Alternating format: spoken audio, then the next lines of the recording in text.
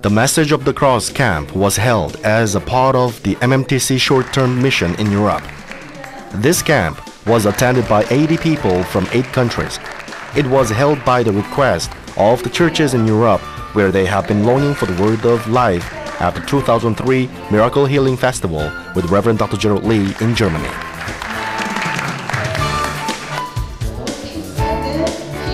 Dr. Kuyang Chung, a former president of Seoul Women's University, gave the eight hour lecture on the subject. The Message of the Cross, which is also one of the finest books written by Reverend Dr. Gerald Lee, gave the clear and easy answer to the most fundamental questions, such as why God has placed the tree of the knowledge of good and evil, and why Jesus Christ is the our only Savior.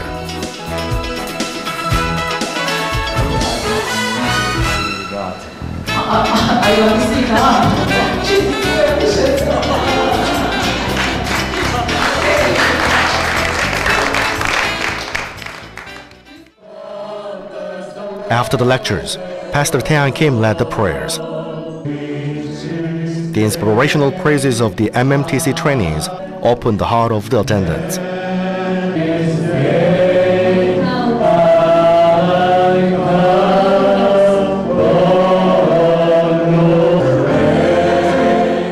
In the Holy Spirit prayer meeting that followed, they put themselves down before God and they were united in the Holy Spirit.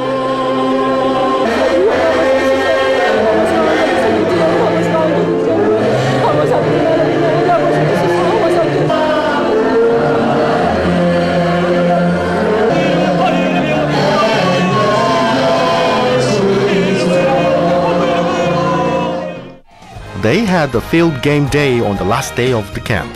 The language or cultural barrier was not a matter to them. They felt that they were one in the Lord while trying the best for their teams.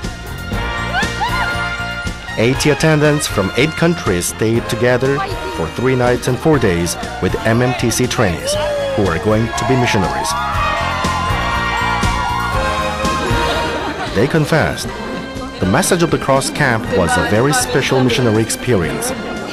We see that their vision to become missionary is growing in them even more.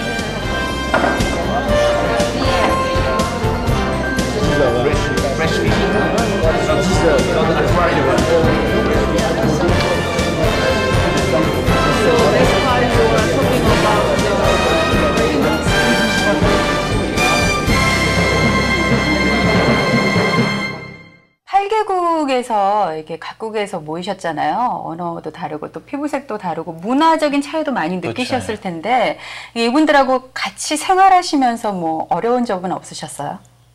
그러니까 같이 생활하면서 처음에 제 자신에도 문제가 있고 그분들한테도 문제가 있다는 걸 깨달았어요. 그제 자신의 네. 문제는 먼저 그분들을 맞춰줘야 되고 그분들 입장이 돼야 되는데 저희가 처음에 단기 선교를 갔잖아요. 네. 그러니까 제 마음에 뭔가를 전해야겠다는 생각이 더 많았던 아. 것 같아요. 근데 처음에 갔을 때 그분들에게 뭔가 전, 전해야 되는데 언어적 문제도 있고 네. 그리고 실제로 먼저 이렇게 듣고자 하는 게 아니라 제가 억지로 가서 막 이렇게 전하려고 하다 보니까 대화가 이렇게 매끄럽지 않더라고요. 그래서 음. 네. 어느 순간부터는 좀 한동안은 무슨 말을 해야 될까 하는 어떤 갈등이 있어서 이렇게, 의미 없는 말을 이렇게 반복하게 되고 네. 그런 생활이 이렇게 계속 지속되는데 나중에는 보니까 그분들이 이제 에스토니아에서도 오시고 벨기에에서도 오시고 하면서 네. 흑인들도 있고 백인들도 있으시잖아요. 네. 근데 저희들 같은 경우에는 언어가 안 되니까 또 저희들끼리 뭉치고 백인분들께서는 또 백인분들끼리 뭉치시고 아. 그래서 인종별로 그런 모습들이 많이 있더라고요. 그래서 그런 것들 보면 나중에 사진 찍을 때 제가 이렇게 손으로 끌고 가서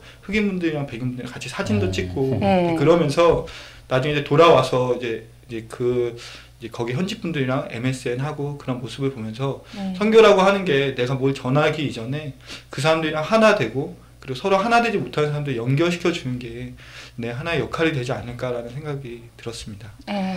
우리 정구영 박사님 그 장장 8시간 동안이나 이렇게 영어로 강의를 하셨어요. 십자가에도. 아까 말씀해 주신 내용 참 많은 사람들이 궁금해할 내용 그런 내용으로 강의를 해주셨는데 강의 마치고 나서 우리 강의 참석하셨던 참석자분들 반응이 어땠는지 참 궁금하네요. 저는 한국말로 8시간 하래도 힘들겠어요. 영어로 하셨다니까요. 예, 간사님 말씀해 주시겠어요? 예. 반응이 예, 어떠셨어요? 그곳에는 이제 청년 리더들이 주로 참석을 하게 되었고요. 네. 이 리더분들을 또 인솔해 오신 목사님들이 약 11분 정도가 계셨어요. 근데 이 말씀을 들을 때 정말 스폰지 같이 흡수되어진다라는 것들을 저희들이 옆에서 봐도 느낄 수 아, 있을 만큼 네. 말씀에 큰 은혜를 받으시더라고요. 네.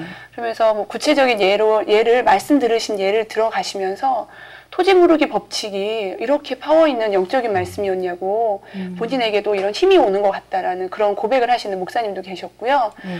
또 뱀이 흙을 먹는다라는 의미에 대해서 영적인 의미에 대해서 어, 너무 놀랍다고 말씀하시는 분도 계시고요. 어, 또 이번에 유난히 목사님 딱 이렇게 자제분들도 많이 참석을 하셨거든요. 근데 그 중에 한 자매는 또 그동안 기도가 세상에 이렇게 왜 세상을 끊어야 되는지를 모르고 마음을 결정을 못 했었는데 네. 아, 이번 캠프 말씀을 듣고 기도를 하면서 정말 세상을 끊고 저 기도의 문이 열렸다라고 고백하신 분들도 아. 계시고요.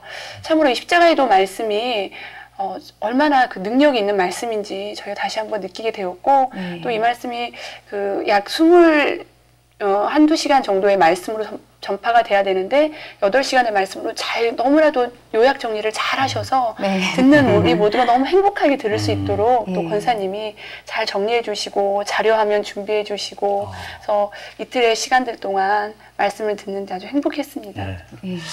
예. 이번 캠프를 통해서 앞으로 선교사로서의 어떤 각오가 있었을 텐데 누가 한번 얘기를 해주시죠?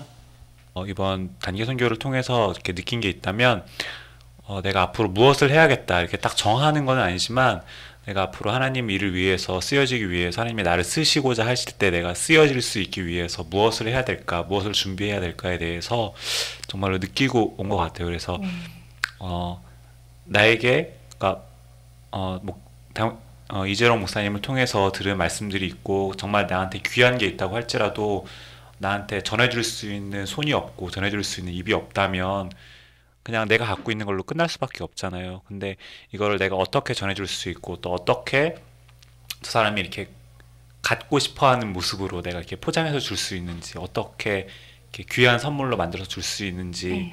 이걸 위해서 내가 어떻게 네. 준비해야 되는지 그거에 대해서 조금 더 구체적으로 조금 더 손에 잡힐 것처럼 이렇게 좀 느끼게 온 것 같아요. 그래서 네. 이게 저한테는 제일 큰 소득이었고요. 앞으로 이제 그것들을 위해서 이제 준비해 나갈 것들을 하나하나 차근차근 준비해 나가야 될 것 같아요. 예. 네. 아버지 하나님은 참 사랑이구나라는 걸 느꼈습니다. 그러니까, 그러니까 성경 말씀에 보면 예수님이 사마리아 여인한테 언제가 너희가는 신령과 진정으로 예배할 때가 오리라라고 말씀하신 것처럼 마음 다르고 인종이 다르고 언어가 다르지만 각자 정말 이렇게 하나님을 사랑하는 마음으로 그 찬양하고 예배하는 모습 보면서 사실 굉장히 부끄러웠어요. 그러니까 제가 더 이렇게 나의 신령과 진정을 사랑하지 못하고 하나님을 사랑하지 못했던 것 이렇게 많이 부끄럽고요.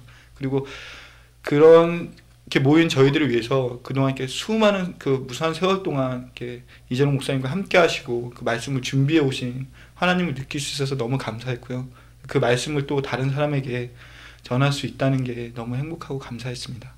MMTC 만민세계 선교훈련에 이런 활동들을 하시는데 앞으로 비전이나 계획이 있으시면 마지막으로 말씀해 주시죠. 땅 끝까지 이르러 주의 증인이 저희 모두가 되어야 하는데요. 네. 성결의 복음과 권능의 역사로는 전 세계 어디를 가도 반드시 영혼들을 주께로 인도할 수 있다라는 저희들은 그런 확신이 있거든요. 네. 더 많은 성교 인재들이 양성이 되어질 수 있도록 저희도 더 다양하게 또 더 열심히 어, 훈련원을 이루어 가겠습니다. 네. 오늘 이렇게 바쁘신 가운데 함께 해주신 정구영 박사님 또 노현숙 간사님 진심으로 감사드립니다. 네, 함께 해주신 우리 14기 MNTC 훈련생들도 감사드립니다. 감사합니다. 오늘은 젊음의 열정이 함께하는 MMTC 14기 유럽 단기 선교팀과 함께하였습니다. 네, 전 세계에 믿음의 씨앗이 되어서 참 귀한 사명을 감당하고 있는 우리 선교사님들 그 역할이 얼마나 중요한지 다시 한번 절감해 볼 수가 있었는데요. 이 선교사님들 그냥 되는 게 아닌 것 같아요. 네. 앞으로 우리 MMTC 훈련원들 또 선교사가 되셔서 전 세계 5대양 6대주의 이 십자가의 도 말씀을 전파해 주시는 그러한 귀중한 사역 잘 감당하시기를 부탁드리겠습니다. 네, 오늘은 이만 줄이겠습니다 감사합니다. 감사합니다.